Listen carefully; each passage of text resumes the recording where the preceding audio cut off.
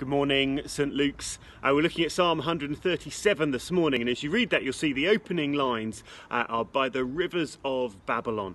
I couldn't get myself away to a river, but I've got a, a pretty uh, inadequate homemade pond behind me uh, that we're still waiting to spring into life as a little bit of a lockdown project. Uh, when you read the opening uh, verses, you see, By the rivers of Babylon we sat down and wept when we remembered Zion. Those are the opening words of Psalm 137. And I reckon, uh, more than just a few of you uh, began tapping your feet or singing tunes in your head as you heard them or you read them. Although they weren't, uh, it wasn't their original song, the words accompany a well-known disco tune uh, by the band Boney M. I think there is a double irony in that. Uh, firstly, that a popular song should make us so familiar with this psalm. Uh, for when we look at the content of its psalm and its themes, uh, they certainly aren't popular or common to us. Indeed, one commentator has urged caution before using this psalm in prayer uh, for us because actually the historical setting is so specific indeed. The second irony, of course, uh, is that the upbeat tunes of disco uh, should be applied to a psalm whose themes are anything but upbeat. Let's start with that historical setting. Uh, the psalm sits in the mouths of worshippers from the temple. They are in the midst of experiencing exile after the Babylonians uh, have attacked Jerusalem, and so therefore they themselves have been taken away to Babylon itself. Absent from the temple and the centre of God's presence, uh, they have literally hung up their instruments and feeling unable to worship their situation is worsened by their captors, who demand songs, and it seems implicit, for the purpose of mocking them. Verses 4 to 6 show a longing for Jerusalem and a return to worship. Verses 8 and 9 are very specific. Clearly, the Edomites wronged them greatly in the course of the attack, uh, and these words are a request for vengeance against them. There is no disco beat that can mollify uh, the sentiment of the final comment that happy is the one who seizes the Edomite children and infants and dashes them against the rocks. We've dealt with the element of curses as a component of the Psalms before. Uh, do look back at the video on Psalm 109 for a little bit more on that. For today, though, I want us to think about how we can pray this psalm for ourselves. First, uh, we need to be those that feel the torment of the writer as they weep over being distant from Zion and actually call down certain potential curses upon themselves. Uh, they write, May my right hand forget its skill. May my tongue cling to the roof of my mouth. Why and when? Well, if Jerusalem is not their heart, oh, sorry, not their highest joy. Through the lens of the New Testament, uh, Zion and Jerusalem are symbolic of the gathered people of God in the presence of God, worshipping together.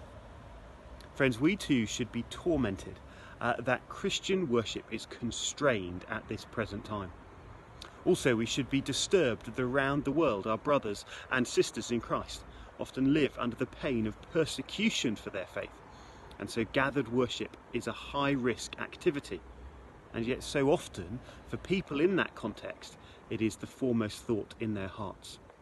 Reports do suggest that pandemic responses are being used around the globe to actually target Christian communities in certain countries.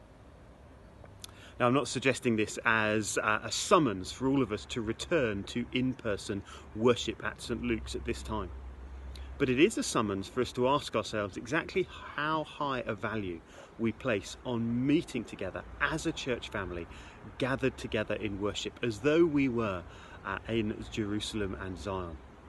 If it is one of those things for us that is only good when the time and inclination allow for it, then we do need to heed the message of verse 6 to consider Jerusalem as our highest joy.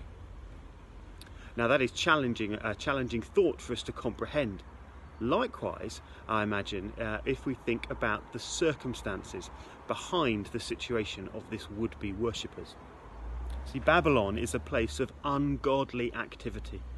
It is symbolic of being bound by cultural and worldly forces that are set against God. However, exile was also an act of God against his people on account of their half heartedness. Uh, with their worship drawn towards false idols and their neglect of the poor and the vulnerable. As hard as it is to consider, we must ask ourselves whether disruption to our gathered communal worship, uh, both uh, nationally and globally, is an act of God to both prune and purify His church, His people. In the current circumstances, the Archbishops of Canterbury and York have called uh, Christians to pray at 6 pm each day for the church and the nations. Dare we make a prayer, make part of that prayer, uh, one of repentance. Repentance that the church in our land has so often uh, been faithless in its worship and its deeds. Might we weep over the Babylonian captivity that hovers over our church and nation at this time. Friends, let's pray together now. Loving Heavenly Father, we ask that you would deliver us from the grip uh, of our global pandemic. That means we cannot worship you in heart uh, and mind and soul and in presence together. Please deliver us uh, from that and set all of us to have our heart's highest desire as being the worship of you with our brothers and sisters together. Amen.